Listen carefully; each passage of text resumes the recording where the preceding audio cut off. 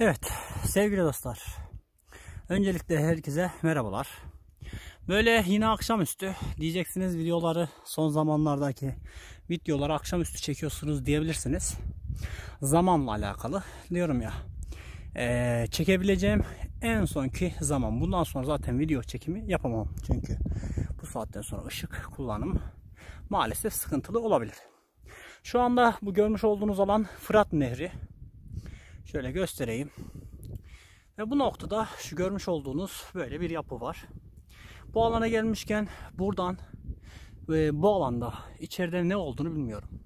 Sadece bu alanı sizlere Fırat'tan ilk paylaşım olarak sizlere yapmak istiyorum.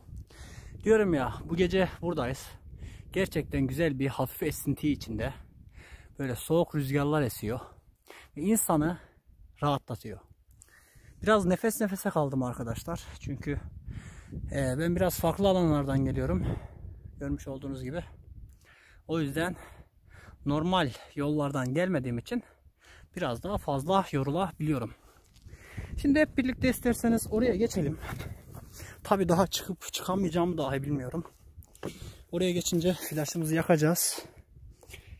Evet. Şu anda diyorum ya hiç bilmediğim hayatımda ilk defa gelip göreceğim. Hani bundan önce bazı insanların bazı söylemleri vardı. Direkt onu belirtmek istemiyorum ama hani biliyorsun ediyorsun aynı yerdesin. Yani arkadaşlar bana yer fark etmiyor. İster doğu ister batı. Yani Türkiye'nin neresi olursa olsun veya dünyanın neresi olursa olsun. Yeter ki kendim isteyim ulaşamayacağım veya gidemeyeceğim, giremeyeceğim bir alan göremiyorum. Evet. Şuradan son kez yakın çekim. Tabi buraya çıkmak da bir ayrı bir zahmet isteyecek. İnşallah çıkabiliriz. Şöyle göstereyim.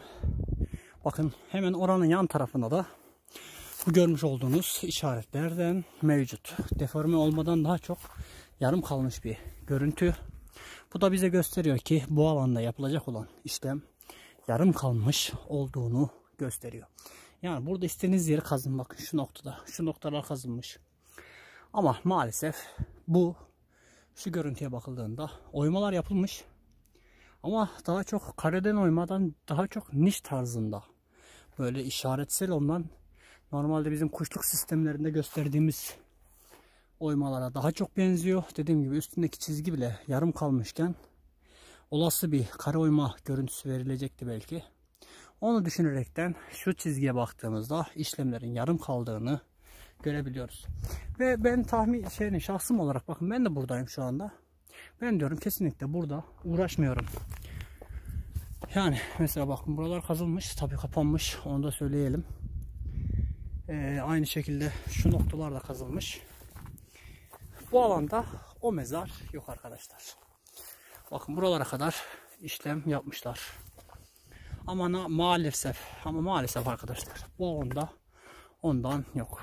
Evet şu görmüş olduklarınız basamaklar.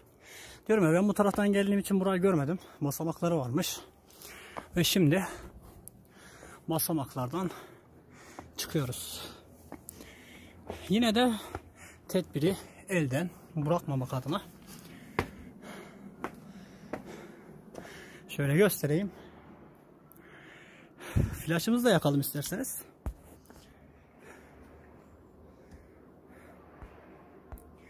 Evet. Böyle bir şuradan normal ışığımızı da yakalım. İçerisi görmüş olduğunuz gibi pislik dolu. Şöyle bakın nişlerle dolu. Dört tane niş var. Sedir sistemli bir mezar. Burası görmüş olduğunuz bir kaya mezarı. Şu sedir. Şunlar da nişleri. Küçük bir alan daha. Aynı şekilde yazılar, nişler. Şu yazıları anlamıyoruz. Bakın. Burası da bu şekilde. böyle küçük bir alan. Daha çok bir kare şeklinde bir mezar görüntüsünde inşa edilmiş. Şöyle flaşımızı kapatalım bir.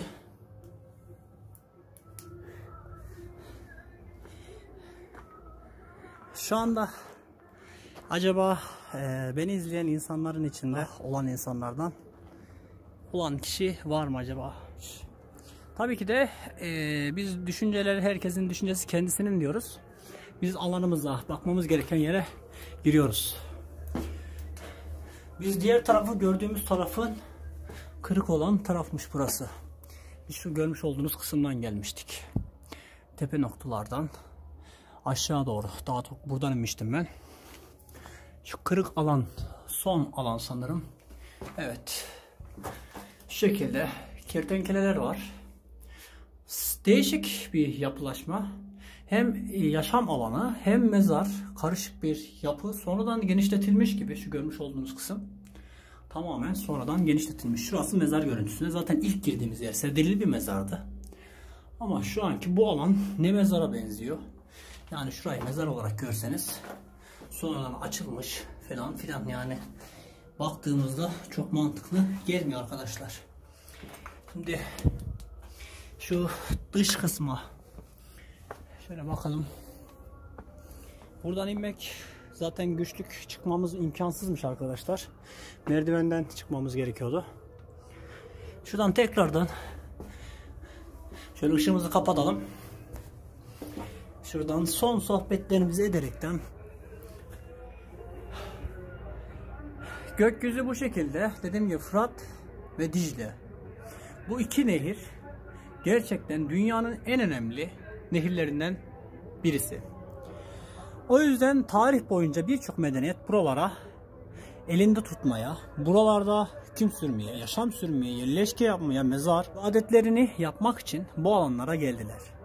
Birçok düşünün Hristiyanlığın yayılması için bakın kayalar gerçekten e, ayrı bir yeri vardı.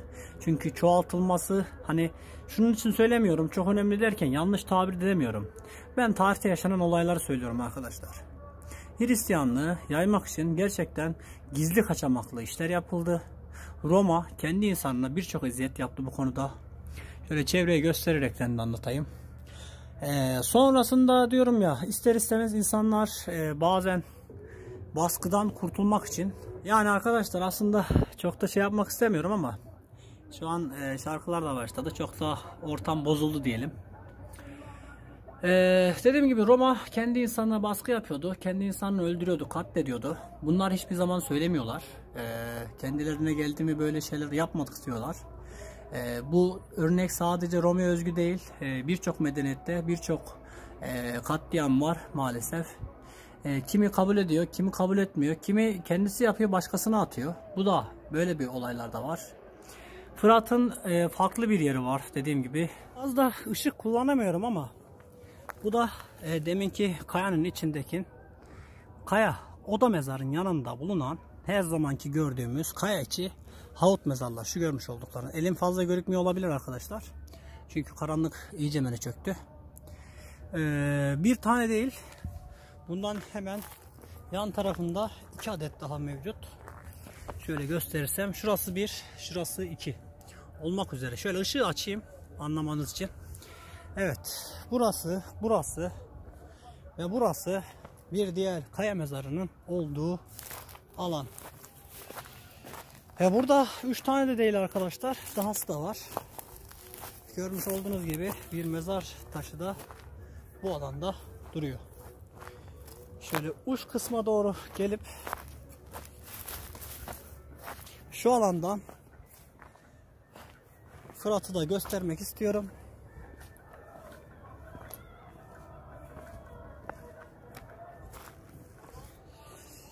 Evet.